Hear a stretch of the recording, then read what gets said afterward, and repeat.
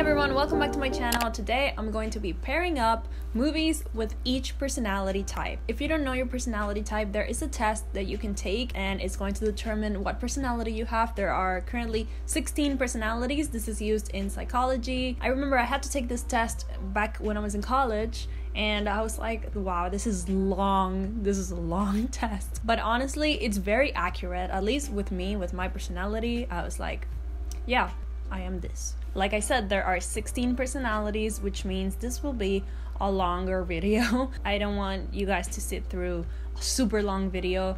And also, I know that some of you will skip right to your personality type, and you know, that's okay, but you will be missing out on some great movies. All of these movies that I'm going to talk about are great, and you know, if you skip, then you won't you won't know what movies I'm talking about for the other types. Okay, so for those of you who won't skip the video, thank you. Okay, now without further ado, let's start with the first personality, INTJ, aka the architect. INTJs are very independent and they don't really care about the expectations from others. Um, this means that they can go after whatever they want without fearing, you know, what other people might think. They don't really like rules and traditions. They basically like to do their own thing. They don't necessarily see social situations as something that they want to participate in because they just don't really like small talk. They prefer conversations that are deeper and relationships that are more meaningful. They are the most likely to avoid being dependent on other people. For all of those reasons, the movie that I chose is The Girl with the Dragon Tattoo. This movie is about a journalist who is investigating the disappearance of a woman. He seeks the help of this girl who is very unusual. She is very independent. She's she definitely does not like other people and she's always doing her own thing. I chose this movie specifically because of this character lisbeth salander when i read this description it just reminded me of her especially the part about her not wanting to be dependent on other people, disliking social situations, and basically being independent. The next personality is INTP, aka the logician. INTPs are usually looking for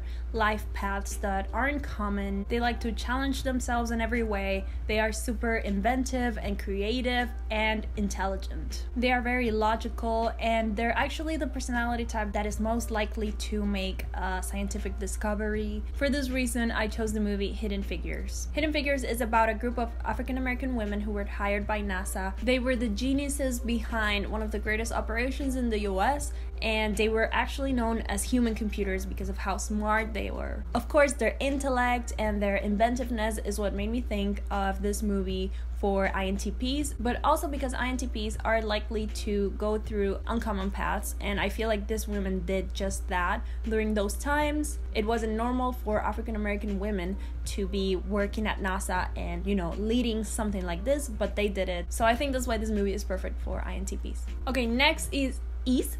Why do I always have to pronounce things wrong? The next personality type is ENTJ, aka the commander. They are so confident, they project so much authority that people just follow them because they're such great leaders. They really believe that they can achieve any goal that they want if they work really hard for it. The movie that I chose for this personality type is The Devil Wears Prada. I can never get tired of watching that movie, and Miranda Priestly is actually an ENTJ according to the website. I tried to think of another one that wasn't so obvious, but I just thought this one was perfect. Now, you might think that being compared to Miranda Priestly can be a good thing, but also can be a bad thing because, you know, she's supposedly she's the villain in the story. But we all know who the real villain is in this movie. We know. Now, now you've become one of them. This movie follows Andrea, who is a new assistant at this huge magazine, and of course, she struggles under her really demanding boss. It's such a great movie. Okay, the next personality type is ENTP, aka the debater. The debaters are constantly analyzing, deconstructing ideas to get to the bottom of things. They like to see everybody's point of view, they like to get in their shoes and analyze things for themselves. Basically, they're always looking to gain more knowledge. I think the perfect movie for them would be Knives Out. Knives Out is a murder mystery and it's a really fun movie because I feel like as a debater, they would really enjoy trying to figure out who was the murderer. Basically, the whole movie is trying to figure out who did it. Their love for knowledge and them wanting to see every single side of every person. I think this would be a very fun movie for them. The next personality type is INFJ, aka the advocate. I said that very weird. INFJs rely a lot on their imaginations, on their own personal values, on their thoughts and their dreams. And they're not just sitting there dreaming, they actually go after their goals. They love to help others, especially others that are in need. That's just what makes them happy. The movie that I chose for INFJs is her. Her is an amazing movie about a man, man, a man. I'm having difficult to speak today. I don't know why. I'm like mispronouncing everything. I don't know what's happening. Her is an amazing movie about a man named Theodore who is going through a very difficult time in his life. He's getting a divorce. He downloads this new AI technology that basically is this voice that's suddenly in his life that can talk to him and is like a computer that has a personality. The reason why I chose this movie is because I feel like Theodore is a very you know, intuitive person. He's very thoughtful. He's very quiet. His job is a very interesting one. He actually writes letters on behalf of other people. Basically, if I wanted to send a letter to my mom, I would hire him to write the letter for me. He has to get in the minds of these people and write these really heartfelt letters. And I feel like for that, you really have to comprehend the minds of other people. Yeah, I think that this movie is perfect for INFJs. The next personality type is INFP, aka the mediators. The mediators are very creative people. They're usually very quiet, but they have a huge imagination. They're always trying to find the good in everything. Sometimes they can be very shy and reserved, but when they're passionate about something, they will really show it. They usually rely on self expression and they do this through fictional characters, fictional worlds. Something interesting that I read about this personality type is that they need at least half an hour to really wake up, which I thought that was very oddly specific.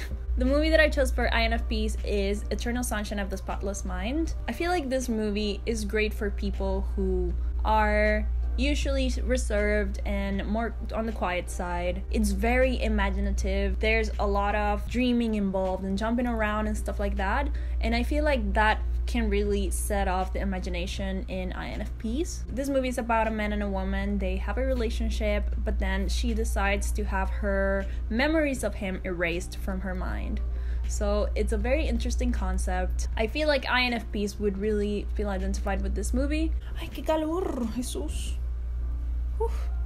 The next personality that I'm going to talk about is ENFJ, aka the protagonist. Protagonists love to guide other people in order to better themselves, better their surroundings, in order to reach a greater cause. They are great at uniting people, motivating them, and you know, leading the way. They have a lot of enthusiasm, they're very confident, and they are very influential. For these reasons, the movie that I chose is Dead Poet Society. I've talked about this movie before on my channel. I think it was in my perfect movie for each Harry Potter house. This movie is about an English teacher in a really prestigious school he really encourages his students to live their lives as it's their last day to really seize the day, go after what they want. He is like the perfect leader for this young men, especially because some of them just feel trapped where they are. They feel like they cannot be themselves. He really encourages them. So I think that he's the perfect protagonist. I just thought this movie was a perfect fit.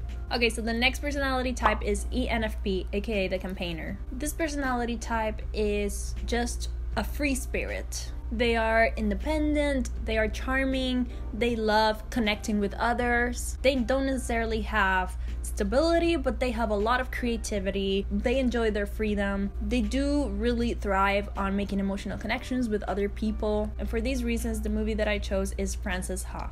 Frances Ha is a young woman in her 20s that lives in New York. She is a dancer and she's trying to figure out her life somehow while doing what it is that she loves, which is dancing. She has this relationship with her best friend who is the most important person in in the entire world for her. I do believe that she is a free spirit. She is independent in her own way, and like I said, she's not very stable um, financially, specifically, but she's so creative. She goes after what she wants. Even though she's struggling along the way, she's still making connections with people. I just think ENFPs would really enjoy Frances Ha. It's a really great movie. The next personality type is ISTJ, aka the logistician.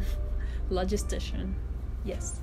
That's how you pronounce it. This personality type tends to be more reserved and sometimes they are they can be very blunt, which can be seen as them being cold, not having a lot of emotions. Although this is not true. They're not really indecisive people. In fact, they know exactly what they want. They really value honesty and they don't really care for superficial things. For these reasons, the movie that I chose is 10 Things I Hate About You, aka one of the greatest movies. I love that movie so much. This movie is about two sisters, one that is very popular, and the other one that just rejects everything that her sister is. Her character, Kat, is what made me think of ISTJ. Basically, she's seen at the school as this really cold person who just doesn't care about other people at the school, and especially by her sister. She's seen as someone who is very cold, who just does whatever the heck she wants without really caring for what other people think. Deep down inside, of course, she does care. She just has a little bit more trouble showing it.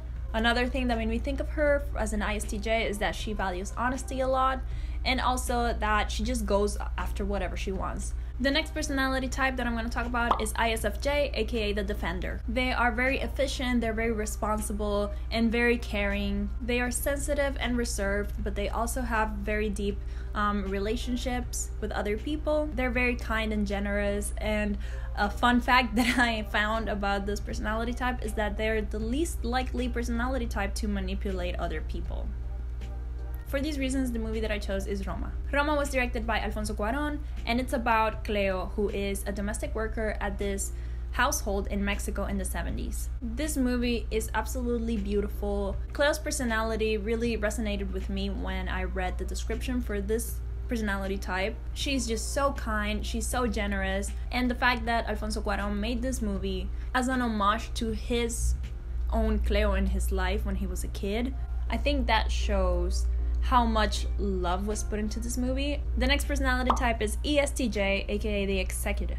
They are very traditional, they know what's right and what's wrong, they follow the rules, they're basically a model citizen. They like to bring people together, they give very good advice and guidance. I thought an interesting movie for this personality type would be The Truman Show. The Truman Show is about this man who seemingly lives this perfect life. He's the perfect neighbor, he's the perfect citizen. He everything in his life is just picture perfect. Um, but there's a catch, and it. Uh, I don't want to say the catch. I feel like probably most of you guys that are seeing this have seen this movie, but if you haven't, I don't want to give it away. But basically, what Jim Carrey's character projects in this movie is that he is just a model citizen. Everyone likes him, everyone follows what is socially acceptable in this little world. For that reason specifically, this movie would be perfect or would be a really fun one to watch as a ESTJ. The next personality type I'm going to talk about is ESFJ, aka the consul. They are very social, they love people, they love guiding other people. They usually like to take the spotlight. They really care about fashion and their appearance, and they like to follow what's trendy. For all of these reasons, the perfect movie for this Personality type is clueless. I will take no other suggestions. I'm kidding. If you have another suggestions, let me know. I'm pretty sure everyone has seen Clueless. It's just a 90s classic. This movie will always be iconic from the fashion to the fact that it's so quotable, Paul Rudd being in it, and the fact that he hasn't aged since then. Cher just seems like the perfect ESFJ because, of course, we know she loves fashion, she loves um, keeping up with what's trendy, with her appearance, but she also loves guiding other people, especially we see that with Tai. She wants to guide her into becoming, you know, more like her, like a popular girl. The next personality type is ISTP, aka Virtuoso. Virtuoso this personality type is very individualistic. They like to follow their personal goals without having people from the outside telling them what to do. They like to explore the world around them. They're also very hands on. They like to learn from their environment, learn from what the world around them has to offer. And like I said, they just follow whatever their hearts desire. For this reason, I thought the perfect movie would be Into the Wild. Into the Wild is a story about Christopher McCandless who, having just graduated college, he decides he's going to go into this wild exploration or trip by himself He just wants to follow his own adventure. He wants to wander and see whatever he can find. This is not necessarily what most people would do after college, but this is what he decides to do.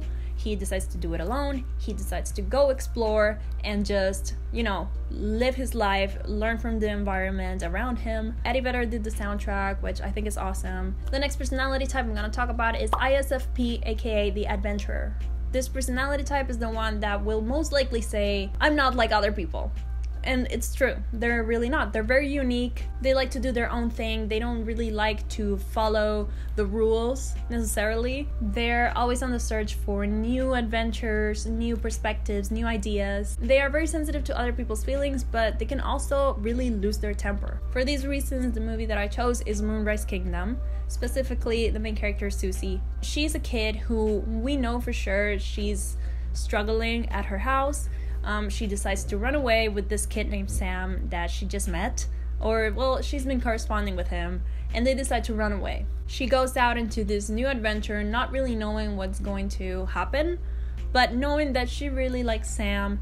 Um, she can really get along with him. As we have seen in the movie, she can also really lose her temper as well. So, all of these characteristics um, of ISFP really reminded me of Susie. Also, Moonrise Kingdom is one of my favorites by Wes Anderson. It's really beautiful, so I really recommend you watch it if you still haven't. The next personality type is ESTP, aka the entrepreneur. Entrepreneurs are always going towards new opportunities. They're very energetic and intelligent. They really like to be the center of attention. They often plan and do. Don't really think about it. They just really throw themselves out there and they do whatever it is that they want sometimes this can be good and sometimes it can be bad because if you don't think enough about what you're gonna do, you don't know if it's gonna turn out. But ESTPs, they are just go getters. For these reasons, I thought the perfect movie would be, of course, The Wolf of Wall Street. It's about Jordan Belfort who works at Wall Street. He founds his own firm and he builds it from the ground up. Gets really carried away by, you know, the power, the money, and he goes from being this really